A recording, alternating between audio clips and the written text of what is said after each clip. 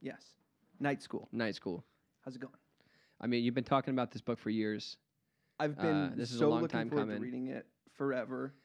I've Uh, been obsessed even before I heard of it. This book is called The Vengeful Djinn Unveiling the Hidden Agendas of Genies by Rosemary Ellen Guiley and Philip J. Imbrogno. Uh, I believe this book came to my attention through a Mysterious Universe podcast, as it often does. Oh, that's cool. Uh, they were talking about instances of possession where people claimed that what they were possessed by was not a demon, but it was a jinn. And there was like really creepy audio recordings of people that claimed to be like that were claiming to be jinn voices like talking through people in possession cases and it was it was very spooky and i hadn't heard of the jinn except for as like genies in terms of like aladdin or similar stories where people get gr- like wishes granted by genies so So genies were of the race of jinn.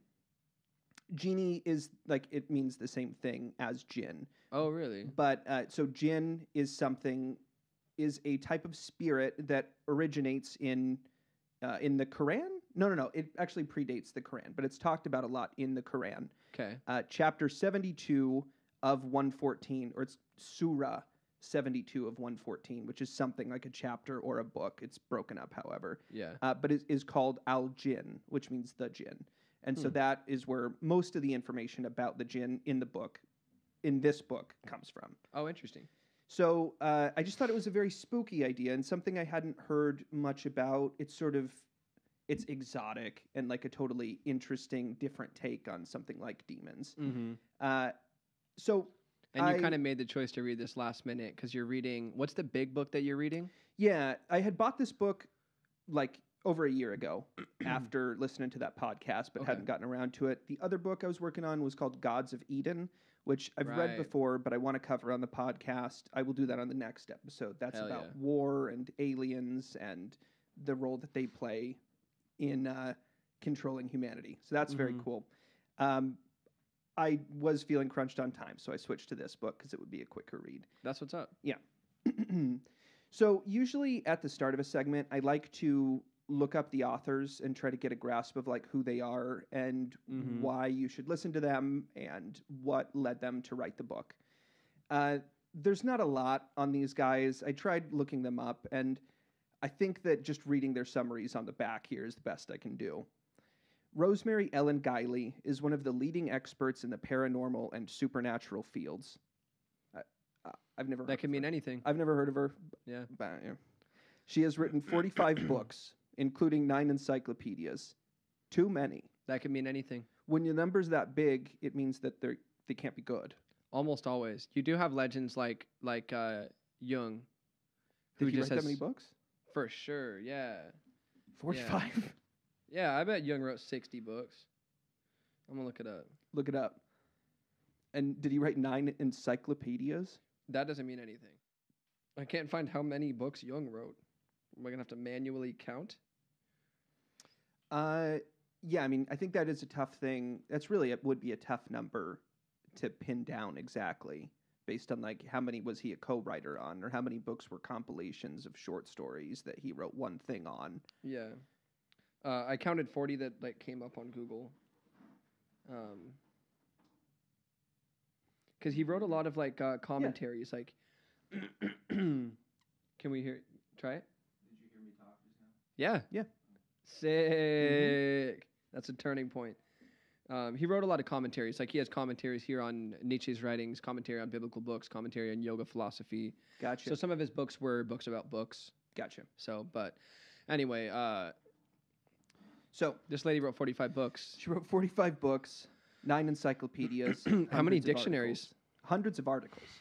Okay. Rosemary makes numerous appearances on radio and in documentaries and is a frequent guest on the radio program Coast to Coast AM with George Noory. That sounds familiar. Coast to Coast AM is a popular show, but it was really a popular show when the original host was hosting it. It's sort Mhm. of considered a like a legendary show in Right. terms of the supernatural. so she was community. featured often on The Daily Show with Trevor Noah. Yes, well put. Yeah, yeah. Uh, and Philip J. Imbrogno has researched paranormal phenomena for more than 30 years and is recognized as an authority in the field. Not by me. he has been interviewed by the New York Times, appeared on Oprah and NBC's Today Show, and has been featured in documentaries on the History Channel, A&E, Lifetime, and HBO. So That's kind of legit. so who these guys are is they're paranormal researchers. Uh, their interest in this, they they both like wrote a little like forward at the beginning, and they both mentioned that the basically like they heard of genies when they were young through Arabian Nights and through uh, what was it? I Dream of Jeannie, that like sitcom where the guy had a genie. So and then they researched, they got really into the paranormal, and they they said that like they met at one point, but then they reconnected like ten years later at a paranormal conference. So they just like they're they're people that go to a lot of paranormal conferences, and they met at a Mm. conference and were like, "Wow, I think maybe we have parallel research here because they were both researching spirits or something." And I suppose my my tone about like I don't take that very seriously because like Mhm. it's kind of like when you look into the supernatural, it all has to do with everything. Like it, Right. it all connects. So Right. it's like Because it all gets pushed into the closet. It all gets pushed into the fringe. And so it's like, oh, this is in the same fringe closet. Well, yeah, everything gets pushed over here. Yeah, we threw. you want to talk about ivermectin and demons? yeah. yeah, everything does have to do with everything. And so them being like, Yeah. actually, I wonder if there's some sort of parallel thinking. If we both maybe have some missing parts to each other's research, which right. is objectively a cool thing when that happens. But it, Yeah. Well, it's fun, but Yeah. it's only m- like deeply meaningful if you think you're so unique. It's a miracle you met someone else who's interested in what you're interested in. And it's really like yeah, there's a million people interested in any given weird thing. yeah. So, You could have just walked up to anyone at that conference and said something that sounded like it could be synchronistic, and they'd go, "Whoa, right. are you my spirit walker?" That's so true. yeah. That's so true. So I don't take the story very seriously in terms of like, wow, that's wild. The synchronicities that led them back together at a supernatural conference, and they realized Yeah. that the supernatural has to do with the other supernatural. Right. So, well, the, is the is is part of your flippant tone related to the quality of the book? Did it read as an academically sound book? Yeah. Um. No. No. It didn't. It didn't really. It felt like. It just felt like there were parts in the book that were just absolute fat that like could have totally been cut. Like large section of of the Quran like cut and pasted into it. Some of it was useful for context, but some of it is not necessary. Stories of them like there was a sort of a long story of one of the the authors going to the Middle East and like meeting this Arab prince who like introduced him to a holy man and the story sounded like the story sounded far fetched to me because I I don't trust the credentials of him that much and it was Mhm. so and there was And meeting a holy man could mean anything. yeah, yeah. Like it, it's like, and there was a story of him being like in a cave, uh, rappelling down into this very deep cave, and then the guys that were with him were like, they like said they heard shouting, and they're like, "It's the jinn! It's the jinn! We got to get out of here, my friend!" And it's like it just sounds like he's being taken for a ride. Like it, the whole story sounded like there was no jinn to me. Um, and there was like just a lot of inconsistencies in terms of how they describe the beings and what their powers are and what their relative power levels to each other are. It just there was a Mm. lot of things in it that felt like it didn't make sense and like they didn't there like there was not enough editing done, I think is a lot of it. Like you could have cut 30% of the book and like Yeah. increased the consistency in a lot of cases. Um, there was a lot of the book that was dedicated to like drawing connections between jinn and other sort of supernatural categories that beings get put into and like comparing them to aliens and comparing them to shadow people and and other things like that that oftentimes felt really stretching it like they, they Mm. didn't make sense to me as a connection Mm-hmm. uh, and so I just felt there was like they wanted to, and I felt like they wanted to write a book. I hate that feeling. Yeah. I hate that feeling. It's like you wanted to get another book under your Right. under your belt. You wanted to say 46 the next time. right. That that's that's what a lot of it felt like to me. Uh, but I'm not all negative on the book. There there was a lot that I took from it in terms of just like learning this sort of interesting fringe part of Muslim lore that Yeah. doesn't ever come up. Have you Yeah. heard of? Have you even heard the term before? Jinn? Jinn? Yeah. Quite a bit, but Yeah. I've been down the rabbit trails or rabbit holes. Rabbit holes lead to rabbit trails. You go down the rabbit hole into the rabbit trail. Yeah. yeah. So yeah, barely.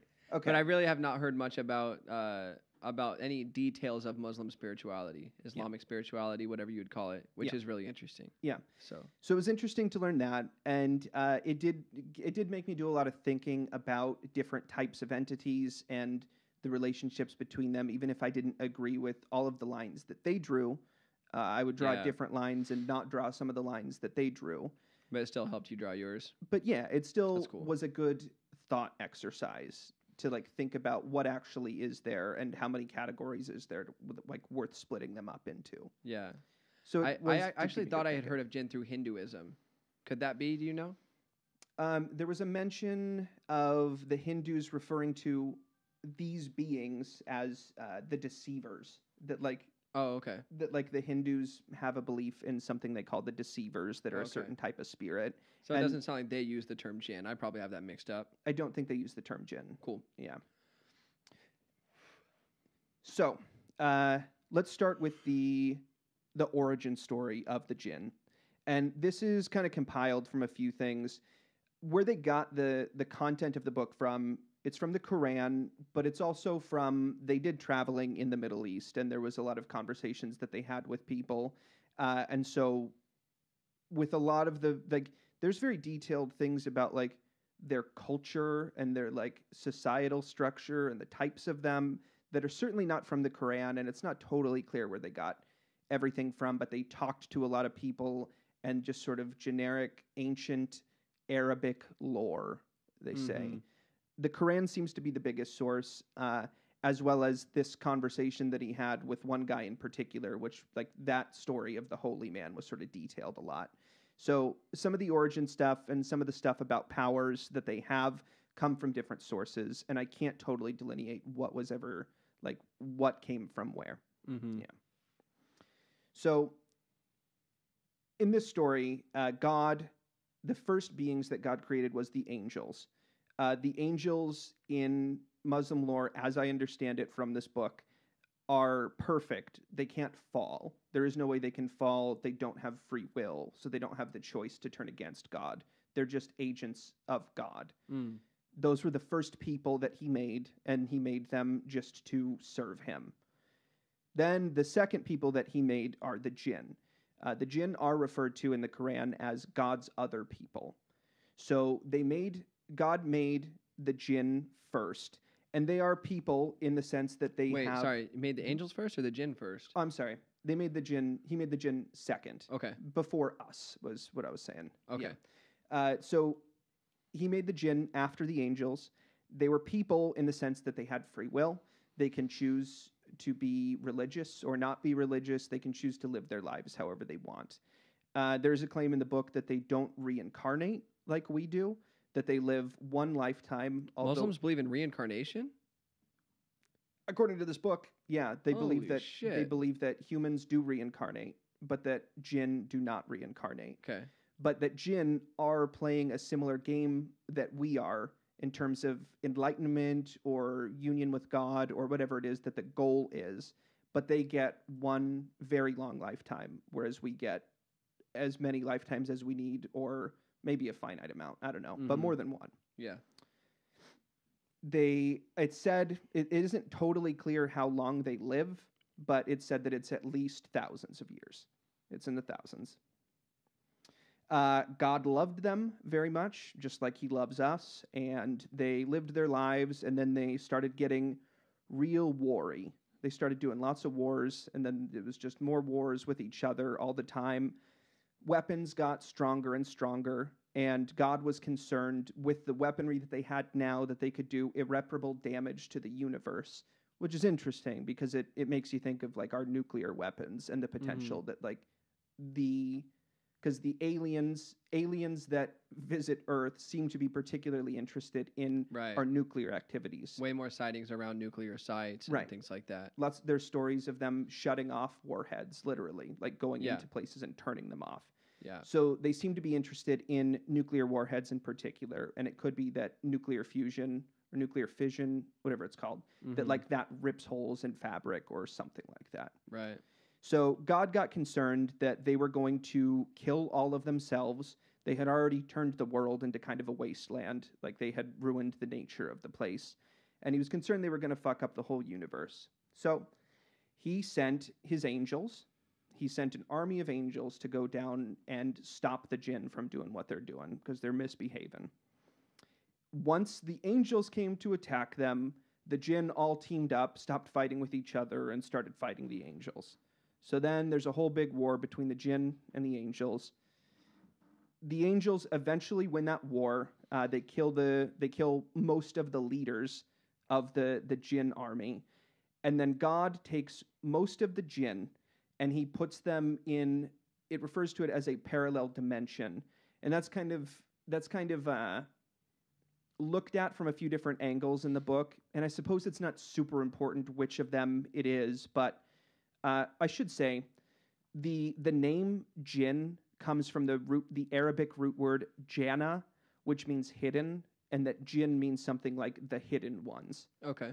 So, uh, like the main part of their lore is that they are hidden from us, that they're secret in some way. Mm-hmm. One story says that God put them in a parallel like universe, like a universe that overlays with ours in some way, but is separate from ours, a whole separate reality, Mm-hmm. or that He may have put them in one of the like a dimension of our reality. Like basically, He put them in a direction that we can't look because we don't understand all the layers that there is to reality Okay. or that he may have just literally put them in remote places because that is a big part of the Mm. lore a lot of the stories of jinn they are in like ancient places or like hidden tombs and things like that Like literally hidden in places around the earth. Yeah. That seems like kind of a literalization of it, huh? maybe yeah like that they're just literally some yeah that it probably is uh, like there's a lot of stories of they focus a lot in this book on the idea that they live underground like a lot of times they prefer caves or going deep into the ground and that Hmm. they're often associated that way Okay. which I suppose ties in with like demonic lore in terms of like hell is down Yeah. physically, which right. is maybe also just a total literalization. Um, let's see. Okay, so God puts most of the jinn in a parallel dimension. He hides them away somewhere. The remaining leader of the jinn was a, a jinn named Iblis. Iblis, he seems to serve as sort of the sort of the Lucifer figure in the story uh, Iblis was in was a jinn that was like very high level and had ascended and was like allowed to hang out with the angels and was kind of treated like an angel. When this happened, when this whole war happened, right afterwards, God decided, okay, I'm going to start over. I'm going to fix the world, and then I'm going to make physical people, and I'm going to put physical beings in the world, namely humans, is what's focused on in the Quran. But uh, it seemed like it seemed like at least like the holy man that they spoke with was also open to like no they created alien god created aliens too and like Yeah. animals and humans and aliens they all fall under this category the Right. physical people god was going to make the physical people and he told iblis and the rest of the jinn that had not been tucked away that they were going to be the amir and the amir would be the people would be the jinn that live among the physical and teach us how to live, how to be in communion with the earth, how to, they taught us science, they taught us how to build a civilization, and how to worship God. And that that was the job that, that he was going to give to the emir. Iblis refused. He said, No, there's no way I'm going to help them. God asked everybody to bow to humans. Iblis refused to bow to them, whereas all the angels bowed, and many of the other jinn did bow. But some jinn were inspired by Iblis and decided that they weren't going to bow either.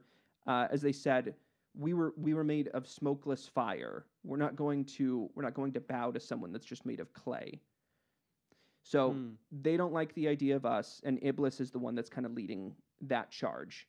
So Iblis says, basically, Iblis and God make a deal that, like, I'm going to just fuck with them forever. I'm going to go down there and watch. They're not even going to love you anymore. We're going to get in their heads and we're going to whisper to them and we're going to ruin their lives and they're going to hate you for it. Mm-hmm. And God was like, all right, bet, let's let's do it Good luck. which is Like like, kind of the same story. story as it's the Job story and it's like the Lucifer story too. Like, Yeah. well, no, he falls and then he just starts doing it. He doesn't necessarily make a deal, right? Does he say like, God, I'm gonna go fuck with these people? Pretty much, but like the the the third of the angels fell down from heaven story is very very vaguely, indirectly, kind of maybe in the Bible. It's not a Bible story. It's like a lot of people have extrapolated that story out of the Bible, but Mm. there's LDS believe in the third of fallen angels thing. Uh, the new vintage internship I did taught us that story, but it's not in the Bible. It's like a lot of people interpret some super far out metaphorical shit from like Ezekiel and are like, yeah, this is pretty much what it's talking about. Like a third of the angels fell. Um, do you remember where it's from? Was it Ezekiel? Uh, I don't know about the Bible. Uh, I guess. Well, why not? You know a lot about the Bible, bro. Well, I, I think it, in the L- LDS church, it's in the it's in the Pearl of Great Price is where it, Oh, really? yeah, like the Book of Moses and the Book of Abraham. Oh, interesting. like Part part of the Book of Mormon, kind of. Oh, okay. But it's it's a different thing, but it's Con- it's considered as canonical. yeah. Yeah. Right. So, did uh, did Lucifer get kicked out of heaven for fucking around, or did he say, "All right, I'm done here. I'm gonna go down and do my own thing"? Was it like he left? Did he quit or get fired? He he got cast out of heaven. Okay. Because he he wanted to do God's plan in a in a way that God didn't like. Um, he wanted to basically be Jesus. Um, uh, but he he said he wanted the glory is basically what we what I was taught as Mhm. a child. Mm-hmm. So God sent Jesus instead of Lucifer, and yeah, Lucifer was cast out, and they're they're not gonna have the same experience as people. Um, Right. They're just they're demons basically. They're they're never gonna have bodies. Right. So that's the LDS version. The Protestant version I learned was like Lucifer didn't like the way that God was running things and question things, so God cast him out. But on his way out, he's like convinced everybody else, um, hey, you, you know, you should come with me because the way that things are running here isn't fair, and he gets to be the boss, and nobody else can question him, and so Mhm. let's go do our own thing. But it was kind of like he, the way I learned it, I think was a little bit more like he quit and got fired, and the way you learned it was a little bit more like he just got fired. So But Iblis quit, I guess. You Yeah, God didn't technically kick him out, although he would have. But then he was like, "All right, let's play a game instead." Yeah. God was good with that. yeah, So uh, Iblis and those that choose to chose to follow him, they hung out around Earth. Iblis is no longer allowed in heaven. The so I suppose he did get kicked out of heaven. Yeah, he's not allowed to go there anymore because he was one of the only jinn that would be allowed to go up and hang out in heaven with the angels. it sounds like in all of our story, it was kind of like he turned his back, and then when he turned around, he wasn't let back in. I suppose so. A little bit like that. Yeah. Yeah. But uh yeah, so Iblis and his followers, they came down to earth and now they spend their time fucking with us. That they but um the jinn are people, so not all of them fuck with us, but some of them are like evil. Some People, them, as in they can be good or bad. Yeah, people as in they have free will, as in they're intelligent and they have free will Mm-hmm. they can they can be really really malevolent like iblis and like really want to ruin our lives and really want to damn us and, and make us turn against god or they can be just having fun like some of them are not like that bad but they do just want to fuck with us for a good time just because it's something to do. And then some of them are are good people. Some of them are like god loving some of them are christians. Some of them are are muslims. Some of them are Oh, of interesting. any religion. Yeah. Mhm. so but iblis's ones seem to be the ones that really want to like actually hurt us, I suppose. Uh, it the story also says that more of them got locked in other places. Maybe some of them got locked in physical places or just different kinds of spots.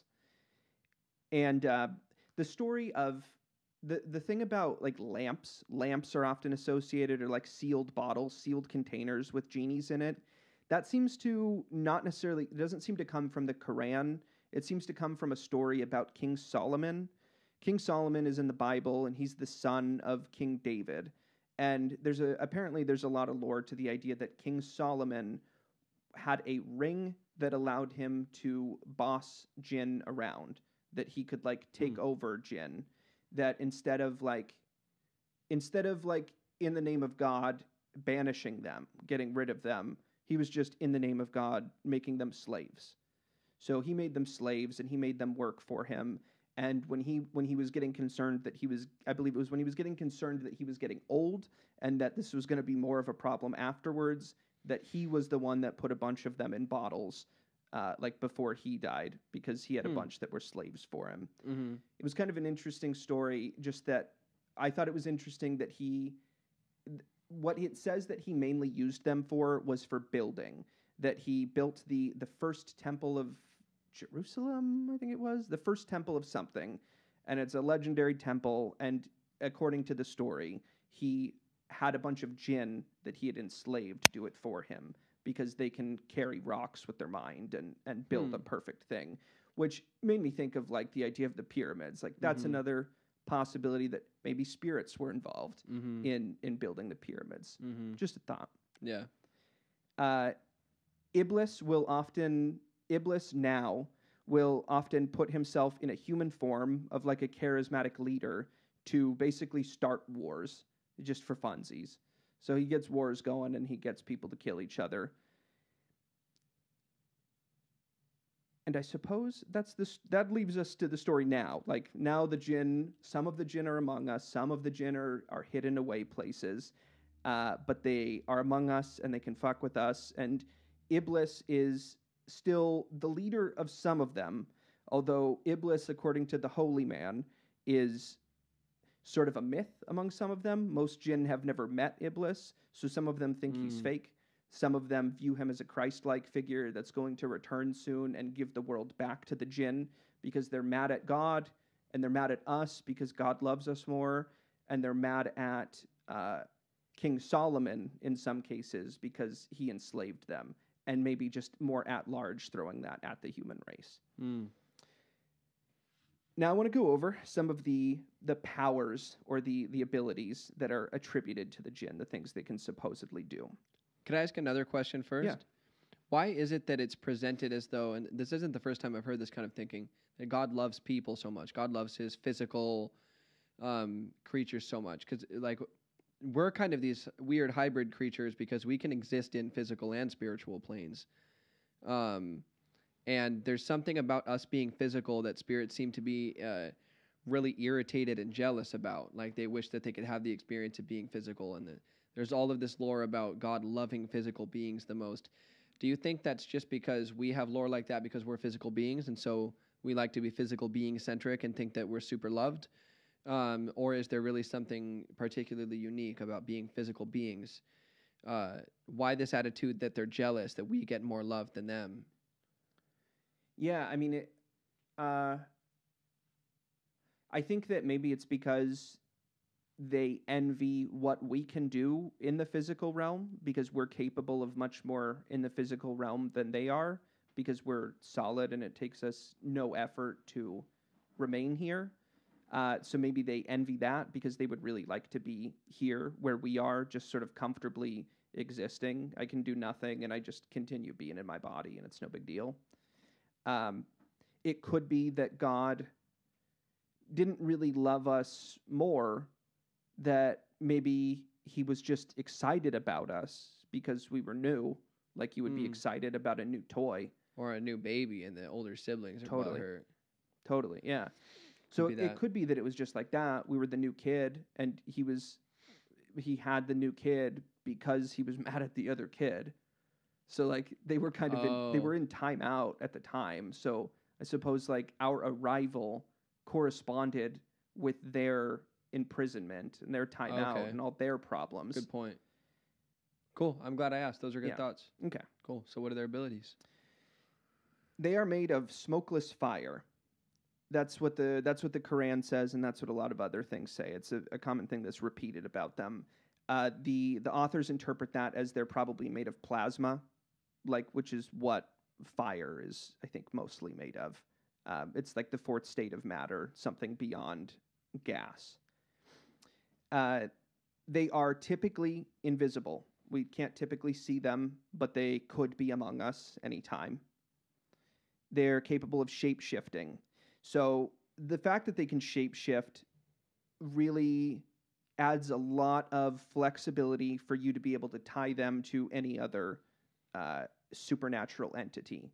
You can say, well, maybe Bigfoots are jinns. They're shape they're shapeshifters, so maybe just sometimes they turn Oh, into man. Bigfoots in What order to You can go anywhere with that. yeah, you can go anywhere. And I they hate didn't, ideas you can go anywhere with. So frustrating. they didn't go anywhere. They didn't go there. They didn't go to Bigfoot. They didn't go Yeah. quite that far. But it does it does just allow for so much Mm-hmm. flexibility there. Uh, but yeah, uh, apparently they can just appear however they want to appear, and Iblis often likes to appear as a human and to Mhm. cause problems. Um, there's a lot of pr- there's a lot of stories of them sort of shapeshifting into things just to like be scary. That maybe they just like they get off on being scary, so they might just turn into a, a scary form. Hmm. Uh, one thing I thought was kind of interesting is, according to them, a one of the preferred things, the preferred forms that they like to take are snakes, black dogs, and black cats. And those are all really interesting, like mythologically. The Yeah. snake, of course, like the story of the serpent in the in the garden, Mm-hmm. uh, and many others. Uh, black dogs. Do you like? Do you hear much about black dogs? I do. I had a dream about a black wolf. Yeah? Um, and I happened to that week meet a Jungian analyst for the first and only time. Okay. Jungian analysts, um, they have to first be licensed psychologists or nurse practitioners or a couple of other things and then undergo like five years of training. So it's like the equivalent of going through medical school and then going through surgery school and becoming a surgeon. It's like the surgeon of psychology. It's like a super high Okay. thing. And and uh, this this lady, um, the Roaches, like John Roach, um, Mhm. and that whole family, brought her out. And right here in the Uptown area at Lotus of the Moon, she did a little presentation on dream analysis.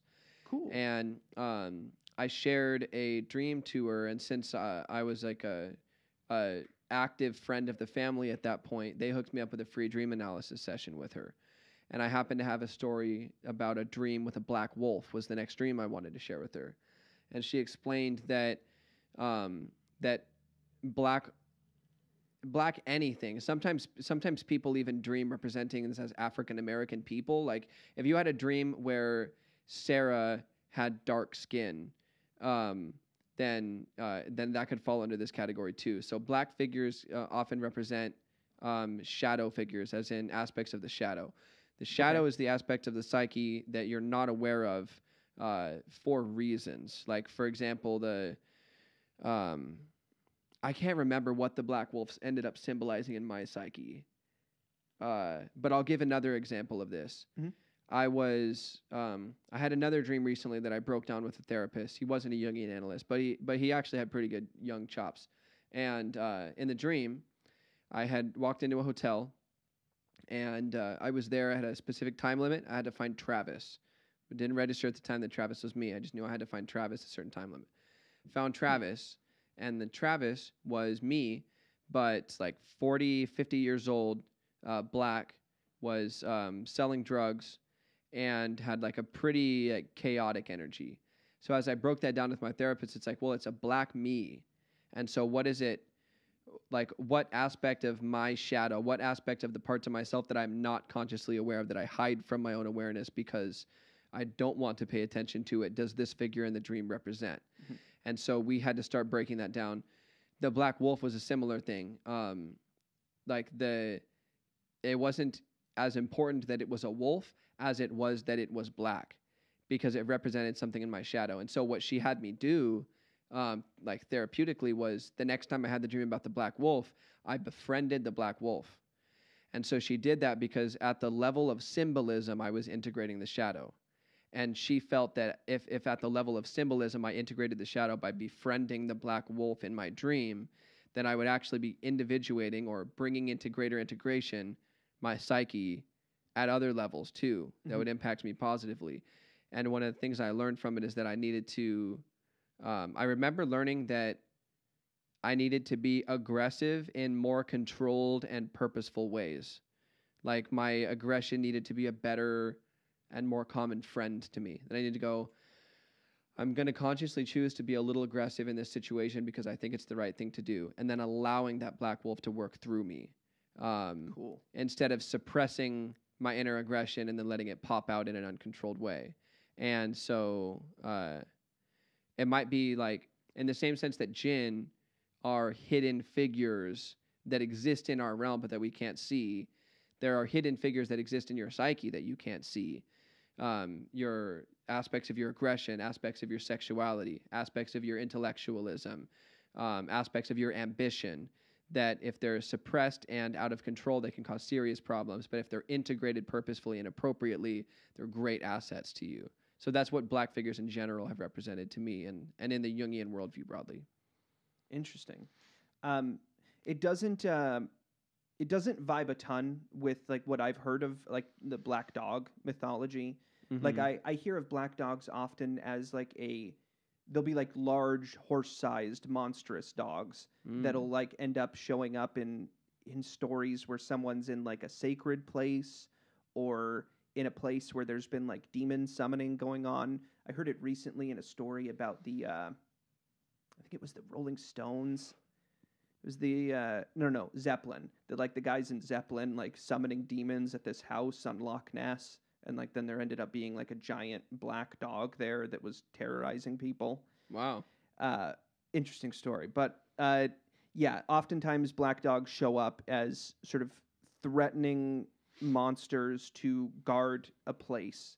Uh, and black cats, of course, are like bad luck, or are considered bad luck when you see them. Right. Yeah. Uh, Sorry, something just clicked about the black dog. The black wolf.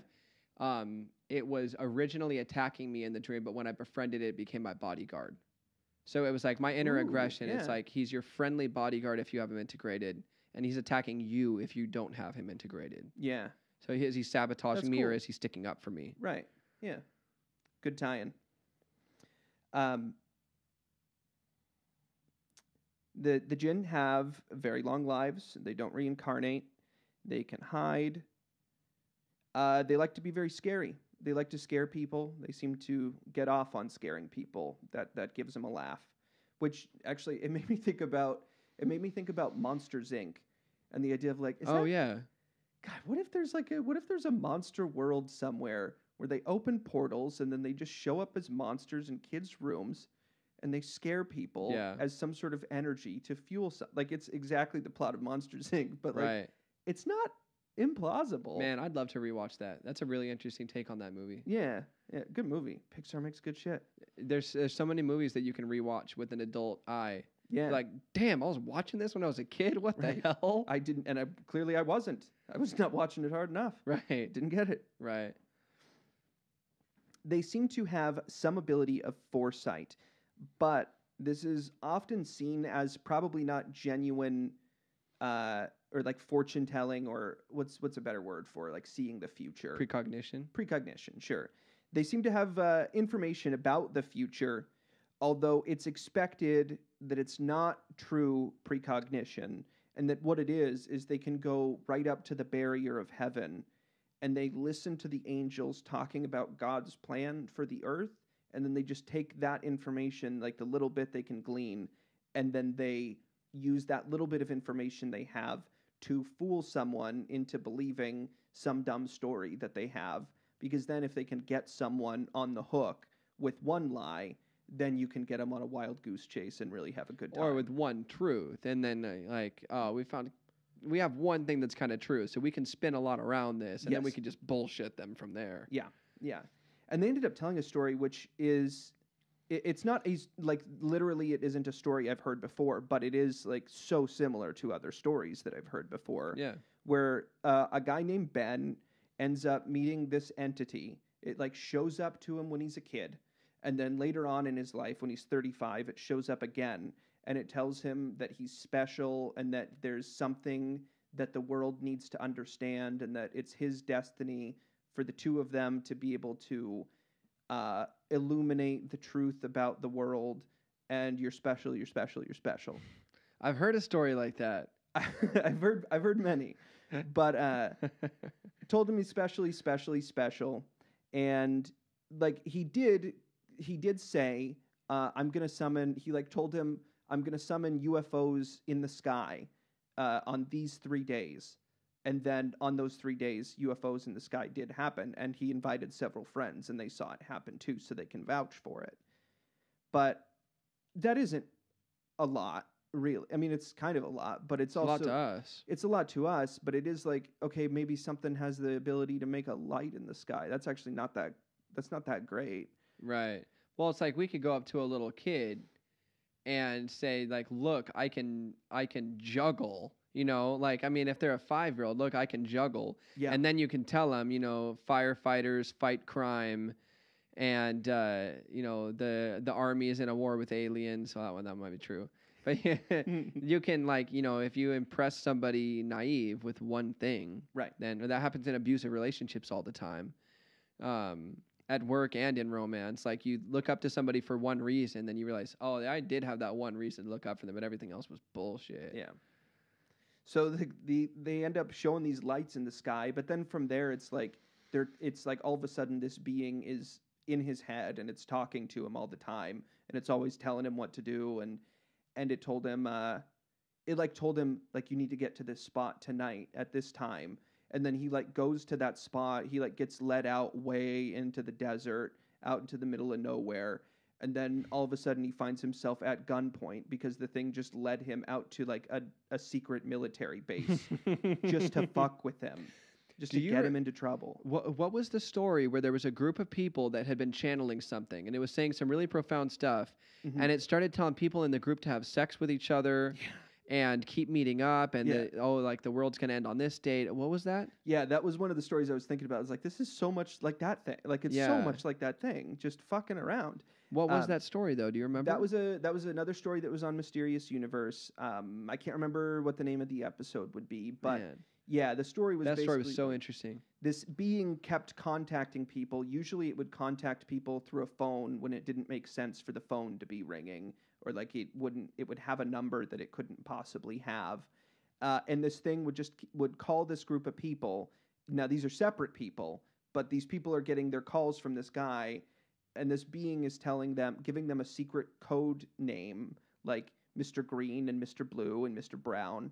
They all get given secret code names, and then gradually it kind of leads them to each other, and then it ends up forming a group. And there's like six of them in the group, and they're like they're the guys. we're the chosen ones they're the chosen ones, and they're gonna they're gonna lead the world into the into the age of Aquarius or whatever. right So they get all together, and then like some of them don't like each other, and it's weird. And like some of them are like more believing the entity than others.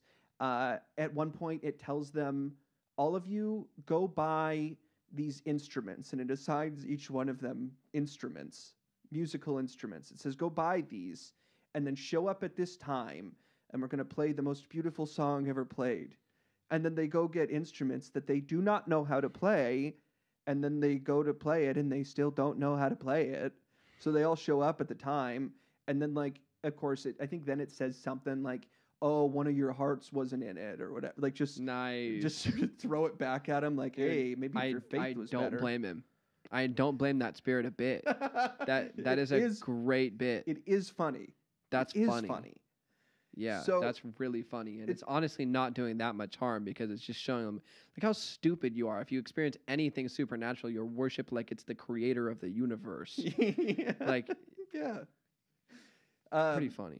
it is funny and then it like i remember it told them it told one girl like you need to go to mr green it told miss pink you need to go to mr green and you need to sleep with him right now and so then she goes to mr green's house and then she like goes into the, she like goes in and she's like um we're supposed to sleep together and they kind of liked each other so it was like they were both kind of excited about it a little bit and then they like started getting ready to, and then it told them stop. I you must only sleep together. Like just sleep together. And so then they laid down in bed awkwardly and didn't sleep. And then a couple hours later, it said, Now you must go. You must go to Mr. Blue and have sex with him. she hates Mr. Blue. so then she goes and, and they both have like the most awkward sexual experience of their life. oh my god. and uh, yeah, I, I remember it just like, it just kind of kept going it just kind of kept going until every member of the group was like, fuck this. No, obvious, this is bullshit. What are we doing? And it just kept going. But I feel like some of those people probably ended up believing in God because it opened them up to the supernatural, but then showed them that there's evil in the supernatural. And then they realized, like, okay, so there's probably an organizing hierarchy of some sort to this whole system that I do not understand. And they, like, Yeah. you know, like, I feel like that all, uh, that's like the jester archetype at work, you know? Like, sure. hey, you go out there and you prank everybody back to me. Like That's that's, a nice God's commission to the jester. Yeah, that's a nice idea. That like I hadn't even thought about that because, like you can like we were saying, the supernatural connects to the supernatural, including God as Mhm. under that umbrella. It all connects to each other. And if you get one little wedge in, if you go like, oh yeah, there could be interdimensional aliens that give us technology, then all of a sudden it just cracks everything open, and you can Right. start like, okay, well then that, yeah, that is not much crazier than that, Right. and it goes from there. right. And I hadn't thought about that. That like, yeah, that could open a person up and like make them understand that there's no, there's really weird forces at work. Yeah. and, uh, some of them are bad, and that one wasn't God, but that doesn't mean there's not God. right. And Yeah. if there's I mean it's like you realize that your whole reality isn't the only reality and there's a ladder going on. And even though you only saw one rung above you, you realize, "Oh, there's a ladder." Yeah. And then and then yeah, you're already open and then cuz anybody can pray at any moment and encounter God. They just don't think that they can, so they just don't. Yeah. They realize, "Oh, if ghosts exist, exist whatever." What if I pray to God? And then they pray and they feel something and they're like, "Oh shit." so those stories are very fun. Those like Yeah, those that's sorts hilarious. of things are are very funny. That's and hilarious. It it totally makes sense that like yeah, if I was a spirit, I might of course I might want to. If I was like a kid, if I was like a kid, five hundred year old spirit, and I just wanted to goof around with some of the physical people, like hey, tell tell me special, tell them they're special. tell me tell me the world's got to needs to hear them. and so, uh, something else I'm curious about while we're connecting random dots in the realm of the supernatural, shamans typically, for their initiation, go through a long period of uh, of mental illness. They go through a period of spiritual sickness where they are uh, babbling incoherently and whatnot. And it's often said that it happens for seven years.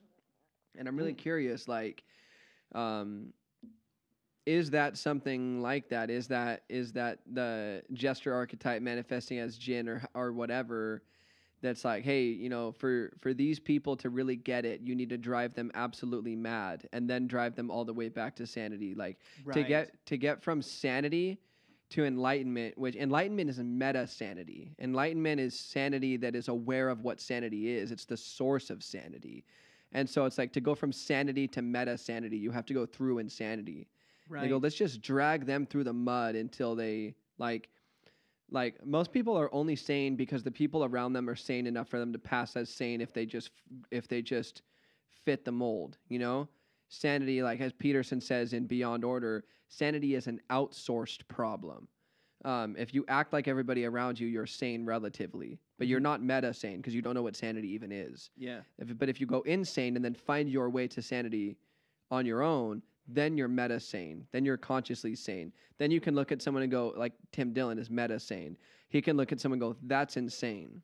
But the average sane person can't look at somebody and go, that's insane. They don't fucking know what's sane and what's insane. They Yeah. just know if they fit in, they're fine.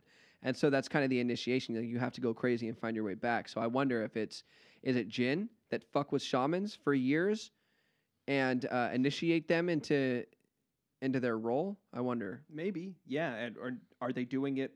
Are they doing it on purpose, or is it? Exactly. Yeah, are they meaning to get you there, or Right. are they trying to lead you away? And like that's all just kind of that's like it's really funny to God, who's like he can't lead them away. Right, right, right. That's not how it works. Right. You can't lead consciousness away from consciousness. Just- It's you just- only lead it in. Right. Yeah. Right. Because like a philosophy of mine that I've shared with both of you guys before is like uh, chaos. Chaos always serves a purpose, but never knows what purpose it's serving while it serves it. Order knows why it's doing what it's doing, and Yeah. chaos never knows why it's doing what it's doing. It just does what it wants, and it thinks what it's doing is random. So it's never aware of the purpose that it's serving. But and so the jinn, like they fall in that category of chaos. They, Yeah, yeah. Fucking with ya. people serves a purpose and uh, yeah i'm i'm gonna try to actually there's a really cool like uh shamanism uh facebook group that i'm in with this guy named nicholas breezewood who seems like a really legitimate grounded sane experienced knowledgeable shaman and i'm gonna try asking him like dude who fucks with the shamans for seven years is it the jinn and i'll Yeah. get back to you Yeah, that'd be interesting. Um, powers. Yeah, what other powers do they have? Uh, they got the foresight. They have free will. Uh, they have super strength. Like it seems like they are, although they are not generally physical, they can manifest physically in some cases. I'm not sure exactly what those rules are. If it takes a certain amount of uh, some kind of energy or or what it is, uh, but they can manifest physically and according to some stories, they can lift really big things like gigantic stones for a temple.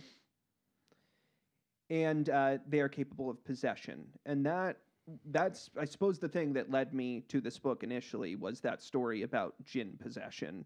Uh, just about a guy who I think it was like 25 years he had been possessed by this jinn and he didn't know it, and then he's talking to this like some sort of spiritual guy and he's like screaming in this jinn voice and that, that was kind of what led me to this mm-hmm. and that is in large part what's talked about in the chapter on the jinn in the quran um, is like the idea that they possess people just like demons are talked about being possessing entities in, in christianity and that's usually what you hear about them. Of line saying that? That's usually how you hear them discussed is like in context of possession? Yes i suppose i just think of it at least in jesus' life Certainly in the New Testament, yeah. Yeah. I'm, I mean, I'm not as familiar with the Old, but in the New Testament, I only remember hearing about demons when they're fucking with people. yeah That seems to be Jesus' only concern. It's like, yeah, leave them alone. You go where you belong. or just get out of them. Like, don't be in them. Yeah. That's not cool. Yeah. It's not your body. Yeah. Uh, but yeah, But I, I don't remember, uh, like, the, the New Testament never lays out, like, here's what demons are, here's where they come from, like, in a literal thing. Just that if you follow Christ, they can't fuck with you. Mhm. And if they're fucking with you, then go to Christ or go to someone who knows Christ and get help. Like, they, they Mhm. just, it's just. well, the, I mean, the Old Testament does though. like lay out the origin story of demons. Only Oh, in right, no, right. We were just saying. That's yeah, we we're just real. talking about like it's like no, it's it's really indirect and really vague and pieced together. Um, or the the LDS Church has it in their um, Pearl the, of Great Price. yeah Pearl of Great Christ, Price. It might be Doctrine and Covenants. Pearl of Great Price. Another s- kind of book. Oh, Get your story together. Trying to remember. thank you, Elder. um, yeah, they possess people.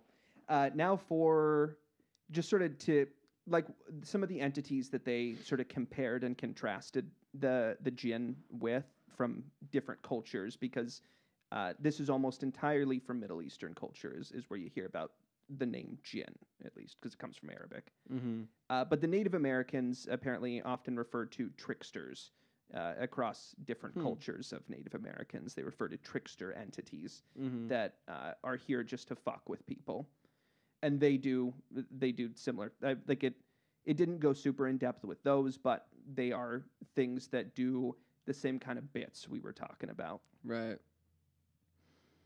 Uh, of course, the comparison with demons is is the strongest one. Uh, their origin is a little bit different because they're not from angels. They're instead sort of a separate category of being that was created after angels. But uh, again, I fuck, I can't get it out of my head that that's not even real. Like that's not even real lore. That the that there are are necessarily that the demons are necessarily angels that fell. If that's not in there, then like they seem unaware of that too. 'Cause- Well, just to be clear though, like as far as I know, the extrapolation is reasonable. Okay, Like it's not a reach. It's just like, but they, but it's not laid out. gotcha. That's just not the Bible's style. It's not an encyclopedia of the supernatural. You know, it's Right. just a series of stories, and they go, well, if this story says that and that story says this, it kind of seems like this is what happened. A Yeah. third of them fell. You know, Gotcha. but I'm pretty sure it's like a reasonable interpretation of the stories. Mm-hmm. Uh, demons, though, are always evil in Christianity, whereas jinn are more people capable of good or evil, capable oh yeah, of yeah, that's religion an or important atheism. distinction. And uh, uh, angels, the distinction with angels is pretty clear. I mean, they have a they have a different origin than the angels. Uh, they are not. I've already I've already said it with all the demon stuff. Fairies were discussed quite a bit in terms of like Celtic lore, mo- mostly from Ireland and the UK. Uh, but fairies are also like trickster entities that come and mess with people and Oh, lead them places. Uh, Will of the Wisp. You ever heard that term? Will of the Wisp. It's like a it's like an Irish kind of entity, a Celtic entity and lore that will basically just sort of lead people off cliffs or just like lead people to places. And it seems like ooh, I'm like a like I imagine like Navi, like the little fairies from Ocarina Yeah. of Time Yeah. if you like like just following that sort of fairy, you're like, oh, what's going on? You just follow the thing, but then it's leading off a cliff or leading you into a trap of, of some kind. Uh, so they're they're known as tricksters and, and seem kind of similar to Jinn. It doesn't seem like there's any stories of possession with them though, but maybe they Mhm. refer to that with they would like categorize that under demons. Right. because that's so much of what like what goes on. Like you can the, the stuff gets filtered differently through the the different cultural lens. Like bigfoot whenever i think about like like if someone were to ask me do you believe in bigfoot? it's like what does that even mean? Do i believe like there's so many stories that get categorized under under this bigfoot bucket. And like Right. that's not uh, but and mixed in there is probably all kinds of stuff there's Yeah. probably a bear and an escaped gorilla and an interdimensional race of uh, like s- some sort of something like a mammal but it's interdimensional on accident and not super intelligent and it accidentally slips in here sometimes Yeah. Yeah. or some of it's an alien's pet or some of it's jinn or some of it's something shape shifting. yeah or some of it is some lost offshoot of primate evolution that lives in little caves and just see Right. once in a great while. yeah some subterranean breeding population that's still left of australopithecus somewhere Right. or or a jinn pretending to be an australopithecus Mm-hmm. just there could be so much it's so it's like yeah i believe that people Have seen something weird. have seen something that they described most closely as sasquatch or bigfoot I, Yeah. be- I, I believe that a lot of people have said that so i believe that happened but right. uh do i don't know what you mean when you say like Right. do i believe in bigfoot Right. because it's yeah all this stuff gets categorized weirdly Can I offer a quick note about fairies? sure So Peterson points out in his uh, psychoanalysis interpretation of the Peter Pan story that he has a competing interest between the fairy and Wendy, and Peterson draws the comparison of the of the modern man having to choose between porn and a real woman, um, whereas the fairy is like this perfect little cute flirty thing that's leading him off into a fantasy world Mhm. but there's a real cool girl that he has a connection with that is a real human being that he should be with but instead he goes off and chases the fairy off into nothingness um into, or into fantasy just Mhm. like there's so many young men whose sexual instincts have been hacked and then rewired in sabotage of them um, by porn because they think oh this is perfect like everything that i want is just right here and i'll just do this do this do this do this do this and Yeah. it's like well you can watch uh, 10,000 videos of the hottest chicks of your imagination doing whatever you want them to do. And the whole time you would have been happier if you would have just settled down with the girl that you grew up next to. Yeah Um, and so, like, that's the comparison that he draws. And it, it's interesting that you say that fairies lead people off of cliffs. Because that, Right. that reminds me of what Peterson said about the fairy in the Peter Pan story. yeah Um, and also just reminds me of his like larger interpretation of Peter Pan is, is that Peter Pan is someone that doesn't want to grow up. Right. Like he's someone that doesn't want to make a decision about his life and he wants to Right. just be potential forever. Right, just like the um, uh, Simba, who Sure. he he goes the Hakuna Matata, but the Hakuna Matata scene is actually the darkest part of the movie because that's that's Yeah. him smoking pot in his mom's basement until he's 35. yeah. Um, and then luckily when he's 35, he's like, "Fuck, I gotta go, I gotta go Abraham it, I gotta go get my shit together and do Yeah. something." Um, And I love But- in that scene that it ends up as inspiring his friends to come with him and help him too, and also get out of the basement. that is really cool. That Timon and Pumbaa go with him. I yeah, like that. and they help him fight. Yeah. Yeah, Yeah, yeah, they join the fight. yeah, that's Yeah. really cool. That's nice. Yeah, Um, and then uh, aliens. There was a couple connections with aliens, and this was the one where I mostly felt it was super. Uh, I felt where, like it was thin, and there wasn't a ton of connection that they were drawing. But uh, a couple of things that I thought were pretty legit was the idea of uh, the Nephilim, because the the Nephilim are the the beings in the book of Ezekiel that, or no, no, no, they are not. The Nephilim are the offspring of the sons of God and the Yeah. daughters of men. right. And there are I, I, I didn't even write this down in the notes, but there are there are stories of half human, half jinn hybrids, and that the half human, half jinn hybrids are monstrosities or giants. Uh, that, like that that was said both that they are some sort of monsters or also that they're just giants, and that does kind of tie in with I suppose that biblical that biblical alien hybrid story kind of ties in with that Mm-hmm. and uh and also just with like i usually have put i've like that story the story that i told about that group of six people that ended up getting tricked by that thing i had previously categorized that in my head and like those sorts of stories in my head as aliens but i Mm. suppose i just done that as like they're interdimensional aliens of some kind or aliens with advanced technology but They That- certainly are aliens in the sense that they're beings Sure. from somewhere else. right God, those lines are great. Yeah, like there's a there's a couple. One of the one of the authors mentions that he knew like he knew someone that was in the military that referred to them capture them like trying to capture an interdimensional alien that like he was leading a team that was trying to catch an interdimensional alien and it was really weird and uh, in a separate story where he meets with a sheik of some area uh, he's told that the U.S. government has been in the area attempting to catch a jinn. So it sort of draws a line between like a jinn is an interdimensional alien. Yeah. So Mhm. and that was apparently acknowledged by a couple of people that he was aware that he was familiar with. Do the jinn have tribes? Like, oh, that's a jinn from that group, and that's a jinn from that group, and those different tribes of jinn have different cultures and stuff. What an insane question for you to ask. Here's the jinn social structure diagram. Of course, yeah. Let me see the diagram. Yeah, a chart would be better, but I'll I'll deal with a diagram. Yeah, there's clans and families of them. No, that's what I was thinking. There's families, and then the families are arranged into clans, and the clans are arranged into kingdoms. And actually, I got annoyed at the book at a different part because at a different part it goes, uh, the jinn are not arranged into states or countries and exist in small clans. It's like you just you also say they're in kingdoms. So how's that not a state or a country if it's a kingdom? Yeah. Uh, so yeah, they are alleged to have a social structure like that.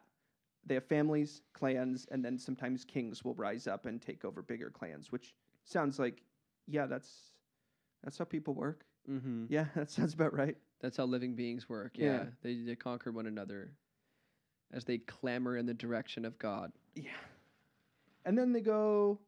They uh they also mention the different uh, types of jinn and their relative power levels. Although it's it's weird when you go through it and read it. It doesn't sound uh, it doesn't sound very nailed down at all. But allegedly they start as green jinn, and those are the ones that you would typically summon if you were doing like a, a séance. You'd be summoning jinn, is what they're saying and the green jinn are the young ones that are most interested in us, so they're most likely to show up if we try and summon them.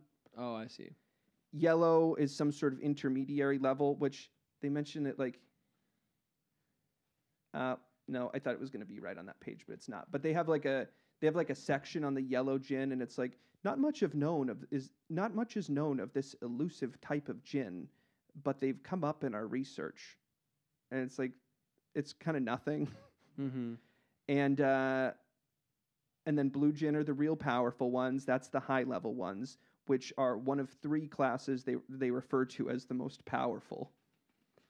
Really? Yeah. That's corny. Uh, You know, I remember I remember meeting somebody who uh when they were like 12, they had stayed home from church and instead done some kind of witchcraft ritual that they found on the internet or from a friend or something, Mhm. summoned something, and it stuck to them for their whole life because like I don't want to share any details, but basically it came out through conversation like is there something s- we we discussed whether there was something stuck to them and uh and through this is this is a funky story but through me means i really can't like detail.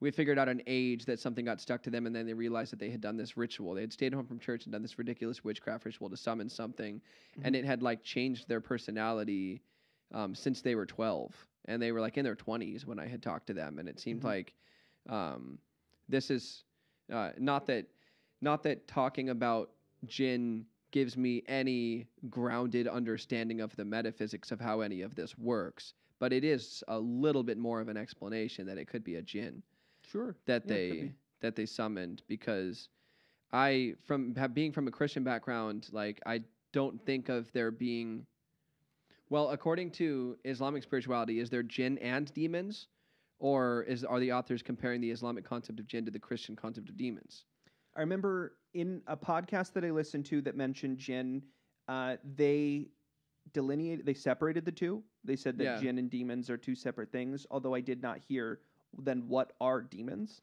Uh, in this book, it seems to it seems to suggest that in the Islamic lore, it would be that demon is just a title for bad jinn, like a follower of oh okay of Iblis.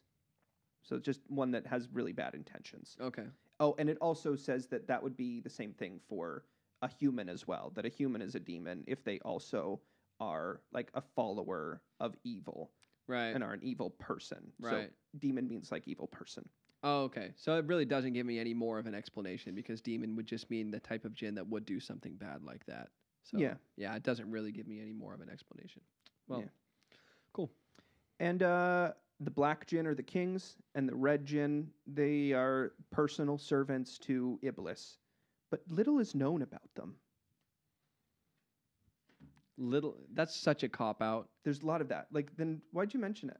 little is known about them like that's i mean that that carries this implication i know everything about the subject It sort of does, doesn't it? little is known about them how do you know Well, they are recognized as leading exer- as uh, leading experts in the paranormal and supernatural fields. so if they don't know, that's corny uh, I think that's uh, that's all I had to cover with them. Um, I thought that it was like I, I didn't I didn't love the book, uh, but I enjoyed getting the information Mhm. and I enjoyed hearing kind of like that different take on a possessing entity, on some sort of spiritual possessing entity. yeah I don't know if you ask me, do I believe in jinn?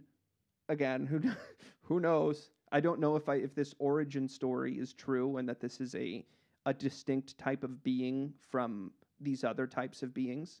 mm-hmm Uh, what I feel confident in, what I am sure I believe, is that there are things that exist that fuck with us.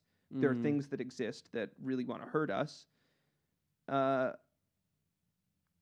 I think there are things. I'm pretty sure there are things that exist that want to help us too, but I'm less sure of that. I'm less sure of that. Uh, but yeah, there are some there are some kind of spirits that are around. Uh, it's not just physical people here. There's Mhm. there's spirits that are about, and I don't know if the Islamic origin story of that is true or if they're all true. And there's just many types of things that have different sets of rules and Right. different sets of uh, desires or things that they want to do.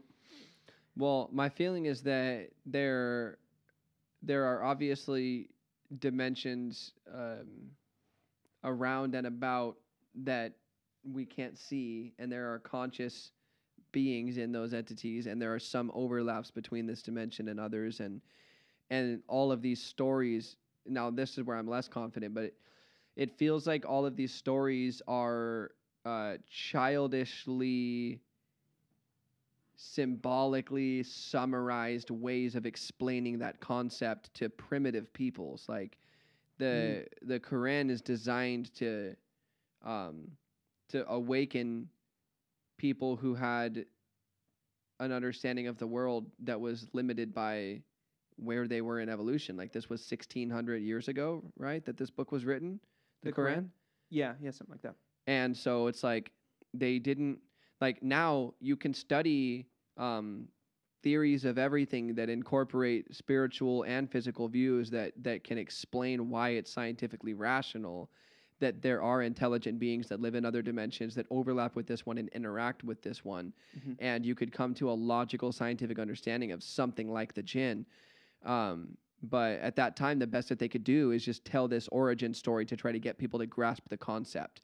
Um, just like if you were gonna, ex- I mean, you couldn't say to a child um, who was, uh, let's say, ten to twelve, you couldn't say, you know, you saw something in your room because uh, reality is all of these dimensions, all of these layers of uh, time space intersections um, overlapping with one another, you know, and show them the flower of life and think about all these different dimensions overlapping with each other. Yeah. and you know maybe that was a mean one maybe that was a nice one just like you can meet a mean or nice person at school. So we shouldn't be fundamentally scared of it. We should just understand that that's how complicated the universe is and uh, here's how you can go about protecting yourself. You can't say all that. You can't give them the whole picture. So you would have to It just won't be comforting. it- no it, It it, won't right. help them get back to sleep. and it wouldn't bring them closer to the truth.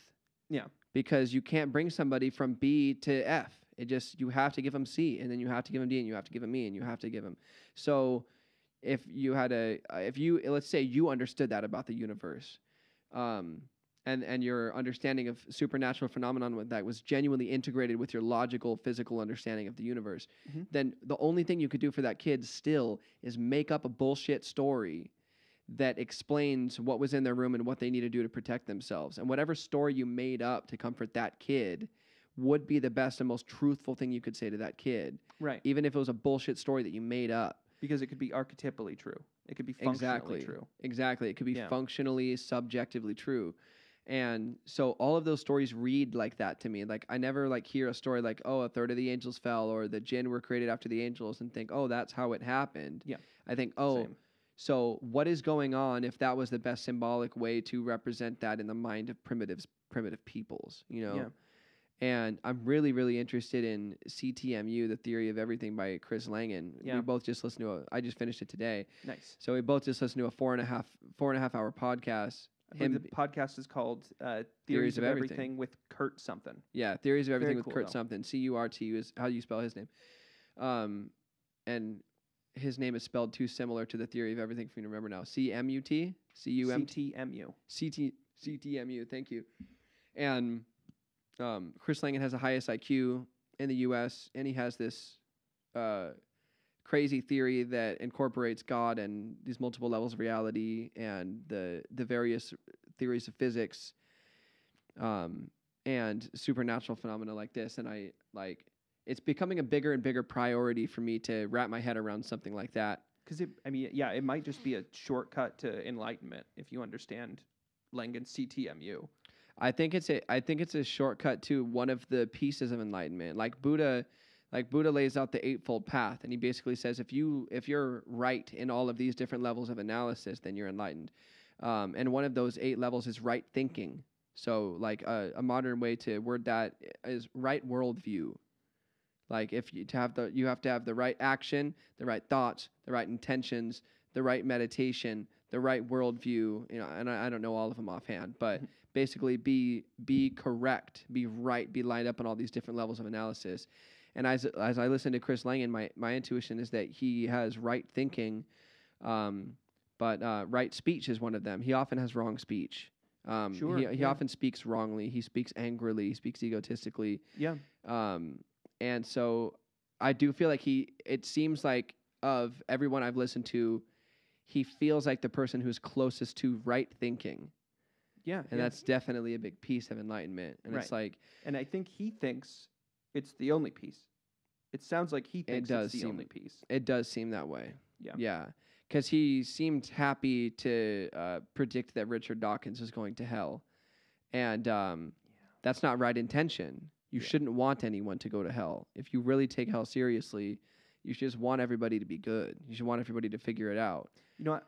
Actually, he was goofing. I don't think he actually thought. Uh, maybe I'm wrong. Maybe he wasn't goofing. Well, I don't know. I'm sure we'll both listen to that again eventually, and so maybe we can revisit that. Um, he sounded sincerely resentful and hateful to me when Richard Dawkins came up. He definitely hates him. He Yeah. definitely hates Richard Dawkins. Yeah. So that's not right thought. That's not Yeah. right intention. That's not right speech. Um, but he seems to have right thinking. So, I mean, I always feel like a fish out of water in subjects like this because I understand that these entities exist. I've interacted with these entities. There's too many stories about these entities for them to not be real. But my my rational brain just keeps throwing off this alarm. That's like we need to integrate this.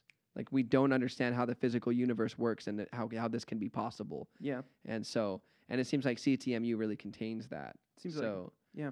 yeah, maybe we can try to cover that on the podcast, but it'd be an uphill battle. I have. It, it's crossed my mind. Yeah. Reading the CTMU uncover and that. yeah, And maybe Chris Langan is a jinn because they're shapeshifters. dude. Or maybe maybe Chris Langan has a jinn influencing him to write the most convincing theory of everything ever, and it's all just misleading. But Oh man, and he's just and we have no idea how dumb it's always been the whole time that Richard Dawkins actually has a really good point. right but but it really seems like like chris lang is saying we need to start with the big picture. The universe is a self-interacting organism that is greater than the sum of its parts and that is god and it's self-organizing and self-creating and self-sustaining. And then we need to go from there and explain all of these other physical theories and phenomena from from there. We need to start there. It's like that is a god-centric way of thinking Mhm. which i think is the right way of approaching things. Whether you're a unified field theorist or a theologian, Mhm. it's like, yeah, you need to start with that absolute base and go from there if you want to piece everything together. Yeah. So it doesn't seem like he's doing anything wrong or it doesn't seem like there's any tomfoolery with what he's doing because it is a totally God centric worldview. Yeah. And and and you know Dawkins isn't like he Yeah. it's I- like how can you not understand that what everything fundamentally is is the same thing? Like how can you think that you're just um, a physical being floating around in this experience, not fundamentally connected to anything, and nothing is going to happen when you die? It's just, it just, it's so counterintuitive to me that he can even think that way. totally. Um, but yeah, this uh, couple good tidbits in there. Yeah, there's some good stuff. Any other jinn stuff you want to talk about? not at all. Cool. Night school. Night school.